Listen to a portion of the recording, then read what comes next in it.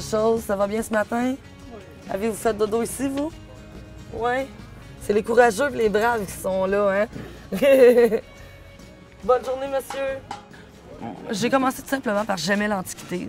J'ignore la raison pourquoi j'ai commencé à aimer ça, mais ça m'a toujours intrigué. J'aime beaucoup l'histoire, puis euh, je trouve que c'est beau de faire renaître des objets qui ont été oubliés aux oubliettes. Regardez ces objets-là, c'est tout beau pareil. Là.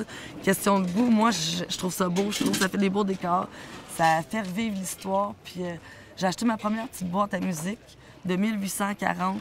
J'avais 15 ans. Puis je l'ai encore d'ailleurs aujourd'hui.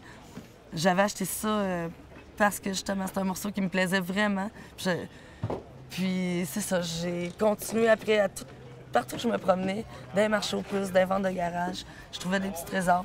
De fil en aiguille, je me suis accumulé une méga collection. Puis euh, une opportunité s'est présentée un jour de, vendre. Les gens m'ont demandé combien tu sais, pour cet objet-là. C'est un objet que je tenais plus ou moins. Ils m'ont fait un super beau montant. J'ai fait « Ah, wow! » Finalement, ça ça m'a comme fait « Ouais, Annie, tu pourrais en acheter pour toi puis en revendre aussi. » Puis ça fait 15 ans finalement. Pour vrai, je me projette comme ça tout le restant de ma vie.